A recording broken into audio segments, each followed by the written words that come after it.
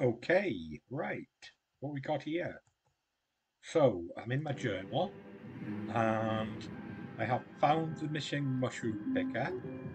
We found him trapped in a field of bibberbangs. He begged us to throw him his bag. Now, I've tried this a couple of times, and if you go anywhere near the bibberbangs, the whole place blows up along with Baelen. So, uh, my son who was with me last week, I've still got his character there, and she's got uh, Mage Hand. So I'm going to try and do it with Mage Hand. So let's see what happens. So, I'm going to ungroup everybody.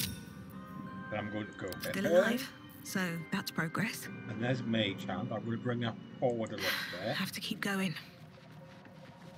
Now if I hold down Alt, you can see Baelen's pack. So I'm going to throw Mage Hand.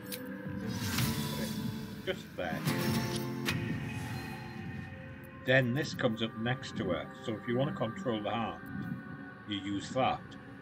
So there's Mage Hand. Now we have to find Baelen's pack. Which is there. So I'm controlling the hand, I'm on Baylor's Park, right click, and I'm going to throw it. So I throw it to Baelen. There's a little bit damage for him, but that's okay, he's not dead. Ah! Oh. oh, I'm all right. God I can finally breathe. So let's get going. He's there. So we've got rid of him. We've sorted him out. Ahead. Got his bag. So let's go talk hmm. to him.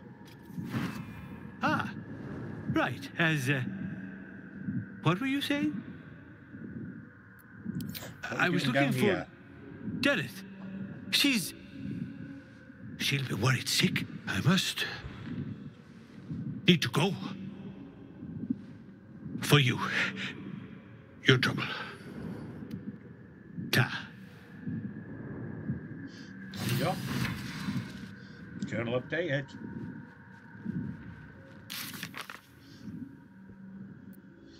So now we have to tell Dareth the good news, so we'll come back to that. But uh, yeah, that's how you explore, avoid the bibberbangs and get the bag.